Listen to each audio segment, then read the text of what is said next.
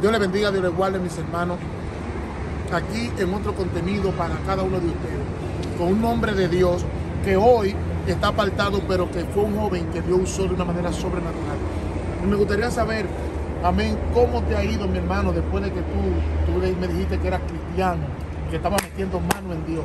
Dime cómo tú estás ahora y no te gustaría volver a Cristo. Háblele a esa gente. Claro que sí, todo el que está descasiado le gustaría volver a Cristo, lo que sucede que uno está amarrado eh, en el mundo de los espíritus, ellos saben, todo el mundo quiere volver, y al uno no puede volver, uno lo que está es desacatadísimo, ¿me entiendes? Para uno no acordarse de su pena, uno vive ruling heavy, pero claro que uno quiere volver, pero venga acá, mi hermano. No, porque mira, este muchacho tiene un ministerio tremendo que Dios lo ha usado para bendecir a muchas vidas. Y hoy eh, él está aquí, claro que está cantando, es un artista, le dicen ratatá tres veces, ¿no? es verdad? Pero ¿cómo, ¿cómo es su nombre real? Francis Robbins. Francis Michelle, Robbins. sí. Entonces, como evangelista, ministro, usted era evangelista, eh, ¿cómo usted se movía en el asunto de Dios? ¿Cómo- usted, usted sabe que el evangelista pasa mucha batalla, mucha guerra, Mucho trabajo. mucho trabajo. ¿eh? Oh, pero a mí me gustaba orar mucho, porque en verdad hay, hay muchos evangelistas que viven escuchando a otros evangelistas Ay, para ellos traer esa idea y remodelarla Santo. al altar y Dios no se mueve. Entonces quieren que Dios se mueva, o sea, quieren que nosotros, los que estemos sentados, movamos a Dios. Ay, y ay, viven ay. atacando al público. ¡Ay! ¿Qué, qué, qué, qué, qué- qué están apagados? Ay, ay, ¿Están ay. fríos? Si usted tiene a Dios, aunque estén con cruz, haciéndole cruz todito, cuando usted habla, la presencia de Dios se va a mover, porque usted es el hombre de Dios, usted es el que porta la presencia del Señor. Santo. Moisés no le dijo a la gente que andaban con él que lo ayuden a abrir el mar. Él hizo así profundo.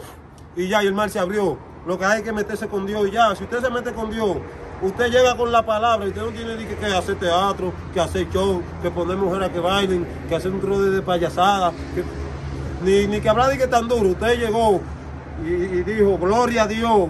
Padre, si tú quieres moverte, muévete. Ya, y Dios se mueve. Porque hay gente que hablan como que es obligado que Dios se mueva.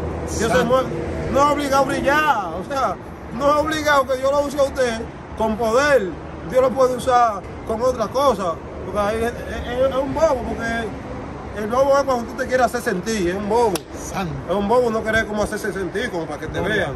A mí Dios me usaba más cuando no había gente que cuando había gente. Parece que yo me iba a vanagloriar si lo hubieran grabado. Wow. Por eso es que hay pila de gente que Dios no lo usa cuando hay mucha gente. A mí Dios llegó a usarme. Cuatro gente trancados en un sitio orando. Dios llegó a gente con resguardo así, vomita, lo vomitó. A, a hacer muchas cosas. Pero a veces Dios no usa gente cuando hay cámara y cosas porque se van a hacer viral y el diablo se lo va a llevar con la vanagloria que le va a venir a su vida. Oye, mira, este es un tremendo mensaje de este ministro que hoy está descarriado. Por eso lo puse acá, porque quiero que usted sepa que todavía Dios tiene personas que aunque no están dentro, pero lo tiene para aconsejarnos. Así que yo les pido que oren por él, Amén, que oren amén. por su vida espiritual, para que el Señor haga lo que él sabe hacer. Amén. Amén, Ustedes lo ven aquí, oren por él, donde quiera que usted vaya, ore. Y acuérdese, hermano, el brillo no es de usted, el brillo es de Jesús. Dios le Amén. Y la gloria de Dios es. Dejen que Dios se mueva. Quieren, que, eh, si Dios quiere moverse, eh, dio la vuelta. Amén. Dios te bendiga. Amén.